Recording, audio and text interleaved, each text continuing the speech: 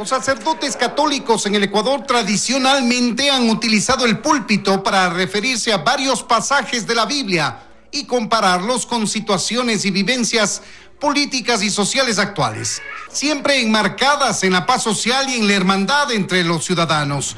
Pero eso no ocurrió en la misa que ofició el pasado 9 de noviembre el rector de la Universidad Católica, Fernando Ponce, en la iglesia de la Dolorosa en Quito. A mí me llamó la atención que se pusiera a denostar, a descalificar al periodismo, a la prensa nacional, al sistema de comunicación y comparar con la Inquisición española que llevó a la hoguera y a la tortura a miles de seres humanos. Esa comparación era absolutamente desproporcionada y envenenada. El periodista Miguel Rivadeneira estuvo presente en esa misa y fue quien hizo público el pronunciamiento del sacerdote durante el sermón.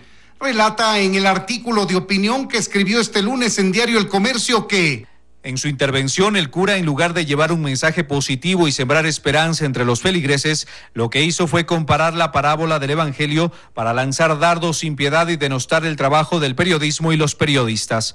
Repitió y generalizó sus críticas mordaces al estilo de las sabatinas. Este abogado politólogo sostiene que la iglesia y los sacerdotes tienen libertad de expresión y se han pronunciado históricamente sobre varios temas, pero... Es irresponsable de su parte, creo yo, haberlo hecho en las circunstancias en que, en que, en que lo hizo, ¿no? después de haber, de haber eh, pasado momentos tan, tan complejos en octubre, en donde incluso la vida de periodistas como la tuya corrieron peligro. ¿no? Rivadeneira remarca en su artículo de opinión que... Lo más grave fue cuando se ensañó contra el rol de los periodistas, tildó reiteradamente de inquisidores y comparó con los tribunales de la Inquisición. Nos deja muchas dudas también en relación a qué papel habrá tenido la Universidad Católica, en realidad la Pontificia Universidad Católica de Quito, en relación a, las, manifestaciones y en relación a lo que dijo el ministro de, de, Defensa sobre, sobre la habilitación de centros de acopio y de abastecimiento para las manifestaciones violentas, ¿no? Si Cristo